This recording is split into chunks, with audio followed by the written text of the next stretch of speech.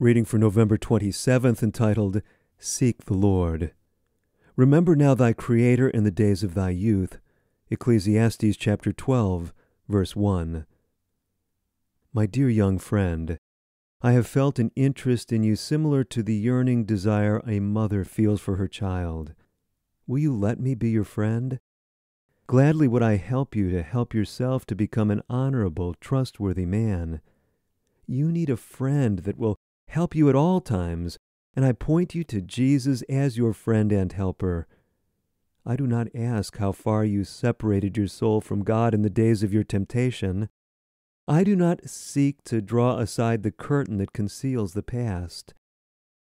But some things which have been opened before me in your past history have made me feel an intense desire to preserve you from companionship that would not be a help to you, that would not lift you up, but would drag you down. Your only safety is in making a decided movement in the right direction. I cannot choose for you. If I could, gladly would I do it.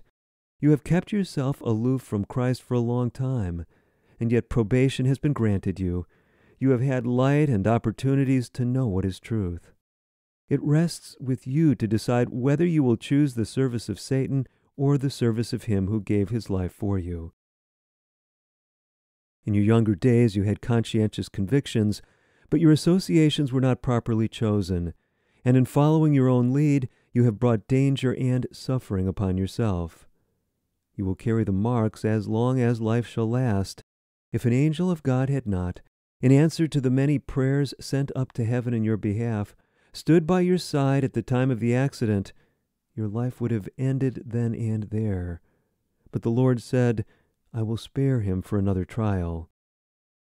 We sometimes blunder, but if we see and confess our errors, God is just to forgive us our sins and to cleanse us from all unrighteousness. Our failures should not discourage us, but should be turned into victories. It is your privilege to choose this day whom you will serve. You have within your reach more than finite possibilities. If you link yourself with God, Turning to him with full decision of soul, he will accept the prodigal. Make your decision for time and for eternity. Let not any human agent cheat you out of your soul. No one can pay a ransom for your soul. Jesus has done that. Will you be indifferent to such love? Again I say, Come.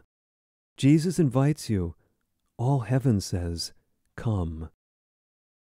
Taken from letter 33 dated November 27, 1896, to a young Adventist in Australia.